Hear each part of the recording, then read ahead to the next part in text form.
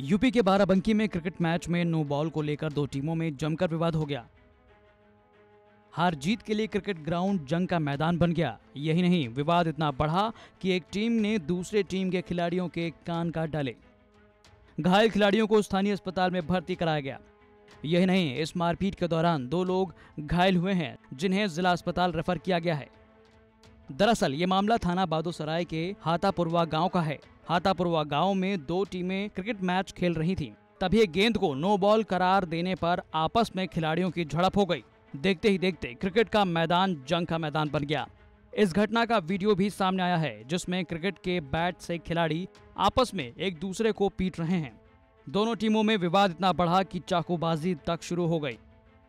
वहीं इस बीच एक खिलाड़ी ने दूसरे खिलाड़ी का कान काट डाला। घायल खिलाड़ी ने बताया कि नो बॉल को लेकर विवाद हुआ था। इन लोगों ने मुझे मारा और कान पर चाकू मार दिया जिससे मेरा कान कट गया। कैसे लोग मैच खेलने गए थे। वहाँ पर जो है बल्लेबाज ने गाली दी। और जब गाली दी उसने तो हमारे तरफ़ के लड़के बोले ये गाली क्यों दे रहे हो? उन्होंने कहा गाली क्यों नहीं दे? जो है कि ये तो जब छः चली गई तब जो नौ दे रहे हैं डेड गेंद दे रहे हैं। तो इससे बाद में झगड़ा हुआ। फिर क्या हुआ? फिर हुआ क्या? फिर ये सात आठ लोग थे उठा ले गए इनको सरसों के खेत में। तो वहाँ पर चाकू लिए थे और मारने जा रहे थे गटाई पर। हमने गटाई घुमा लिया पर कान पे लग गया। तो इसीलिए पूरा कान कर गया हालाँकि मामले की जानकारी मिलते ही पुलिस ने केस दर्ज कर लिया और आरोपियों की तलाश शुरू कर दी है।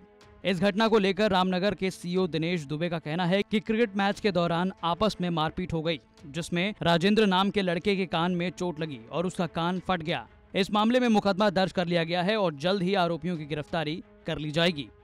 ये कल जो है, ये ददरौली भवानीपुर में क्रिकेट मैच हो रहा था। तो वहाँ पे बच्चों बच्चों में आपस में वाद हो गया मारपीटाई हो गई। इस संबंध में एक राजेंद्र लड़का है उसके कान में चोट लगी और उसका कान फट गया। दूसरे पक्ष का भी एक चोट है, लगी है, पुष्पेंद्र बता रहे हैं उसके हाथ फ्रैक्चर है, उसकी भी डॉक्टरी परीक्षण कराया जा रहा है। इस संबंध में मुकदमा पंजीकृत कर दिया गया है।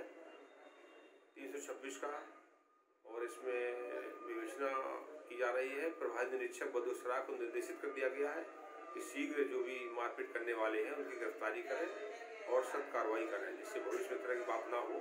क्योंकि दो गाँव का मैटर है भवानीपुर के पास में दुर्जनपुर है और दूसरा है हाथापुरवा हाथापुरवा और दुर्जनपुरवा, दो मांग ली जाए तो सख्त कार्रवाई के लिए निर्देश दिया